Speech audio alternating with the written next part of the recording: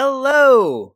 All right, we've just started scratching the surface of what Node.js is and what it can be used for.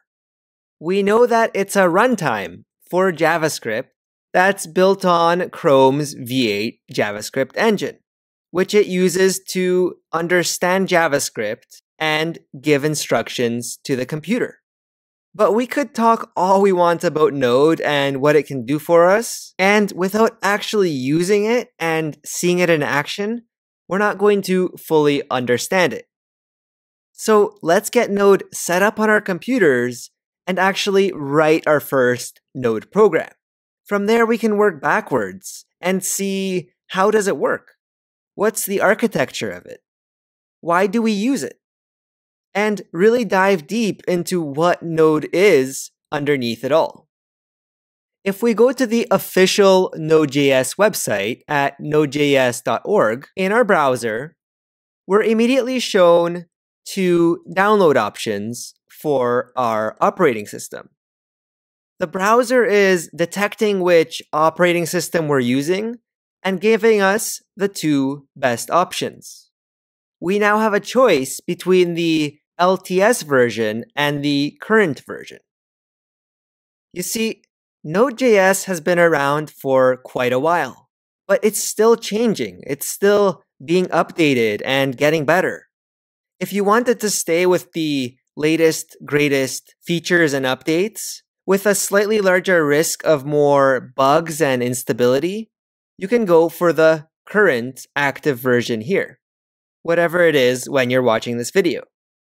But you can see that the recommended version for most users over here is the LTS or long term support version of Node. This means that the Node developers are guaranteeing that they will maintain and support this version of Node. So if we're working with real life production systems, we want the extra stability and guarantees that we get with a long term support version. And because of that, for this course, I recommend this LTS version right here. We can also go to the downloads page and see that there are plenty of options here to install Node for every operating system. There's installers for Windows and Mac OS. There's Linux binaries and an option to install from source code. If instead you prefer installing Node using a package manager or an installer for your operating system that allows you to install packages like Node, you can scroll down to the installing Node.js via package manager option, which has instructions for pretty much any distribution of Linux you can think of, as well as alternative options for macOS and Windows. For example, using Homebrew for macOS or using a package manager like Chocolatey or Scoop for Windows over here. Finally, there's this option over here to install using NVM or the Node Version Manager, which is a program that allows you to have multiple versions of Node installed at the same time and switch back and forth between them. This is for when you're working at a large company with multiple teams using different development environments that you need to switch back and forth from. So there's plenty of options, but the simplest way and the way that I recommend is to download the LTS installer for your operating system. And since I'm on a Mac, I'm going to download the macOS installer and then open it.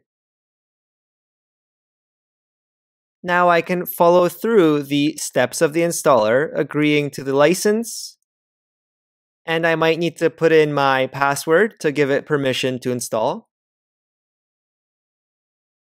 All right, there we go. We've installed Node. That's awesome. Now I'm going to open up our terminal.